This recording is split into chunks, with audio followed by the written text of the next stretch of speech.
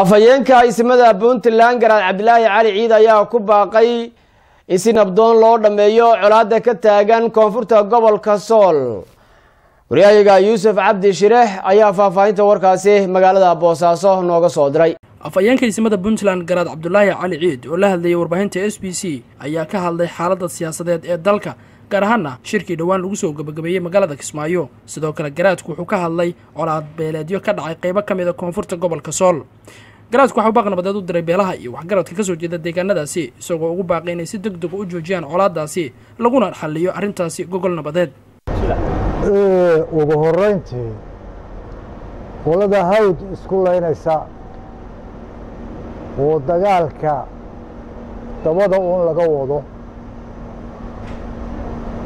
waa leenahay joojiya dagaalka waxaa la yidhi rag tashaday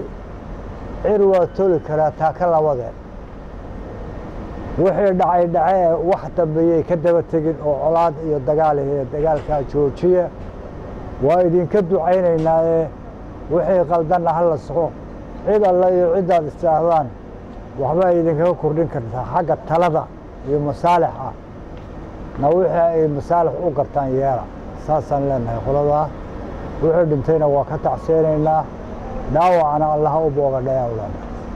afhayeenka isimada puntland garaad cabdulaahi cali ciid ayaa sidoo kale ka hadlay shirkii ku soo dhammaaday kismaayo oo uu ku tilmaamay midaan qurux badnayn loona baahan yahay in madaxda ay ka wada hadlaan si khilaafka loo yareeyo. Wuxuu sheegay in waxyaabaha mar walba soo celceliya khilaafka soo kala dhex gala madaxda soomaalida ay yihiin kuwa aan u wanaagsanayn dhagaha shacabka soomaaliyeed. Maamul goboleedada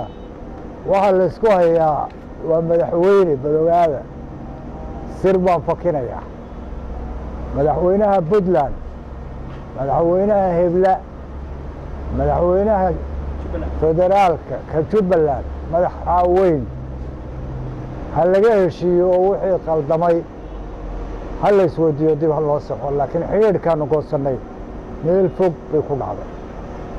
Soo celiya soo celiya ummaddan